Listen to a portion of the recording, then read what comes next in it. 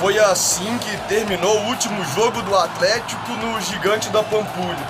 E vai ser nesse clima de pressão que o Galo entra em campo hoje contra o Cuiabá, de novo em casa.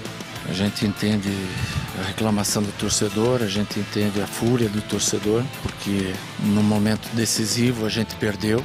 Os gritos de vergonha vieram ainda durante a derrota para o Botafogo na última rodada. Aliás, o Atlético não vence há duas partidas, porque antes do duelo contra o time carioca, empatou com o São Paulo no Morumbi. Última partida em casa né, do Campeonato Brasileiro.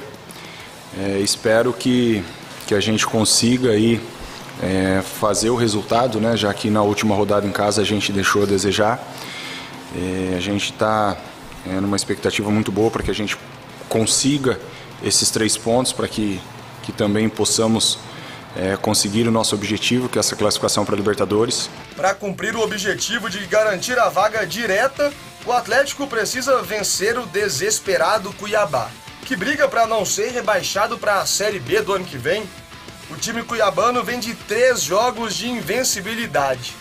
Mas para quem precisa de qualquer jeito mudar a fase e a moral com a torcida, nada disso pode ser mais forte do que terminar o ano com uma meta cumprida.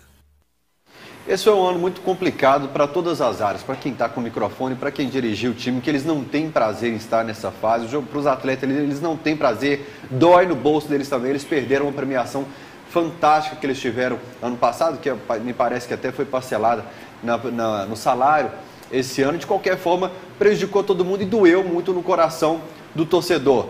A gente já protestou, eu já briguei aqui e tal. Só que é o último encontro com o Atlético, gente. Já pedi isso essa semana e vou bater na tecla mais uma vez. Vamos apoiar o Galo. A gente já protestou, já jogou pipoca nos caras, já jogou refrigerante. Vamos empurrar o Galo, colocar o Galo na Libertadores da América, que é importante a Arena MRV estrear numa Copa Libertadores da América. E ano que vem, na segunda-feira aqui, vocês podem ter certeza que o Fael maluco do microfone vai estar de volta. Nesse momento, fechado com o Galo, apoio e barulho total do Mineirão.